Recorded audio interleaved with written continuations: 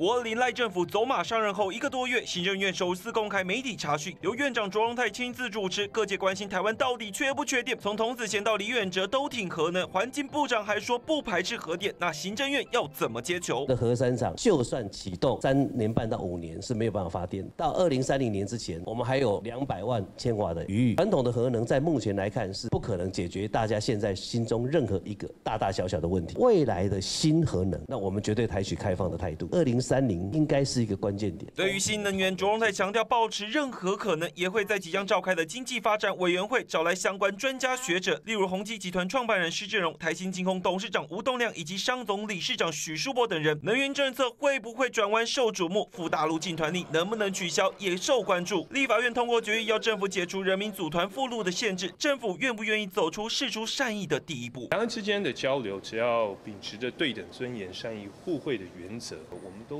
坦白说，如果国人去了，发生了任何的我们料想不到的行为，还是要行政院负责。工作也好，旅游也好，务必要非常的谨慎小心。我们只能呼吁这个样子。从能源政策到两岸交流，就看执政党能否抛弃意识形态，接纳更多元的意见。不止百姓的声音，政府听到了吗？记者杨杰、李俊 S 小组台报道。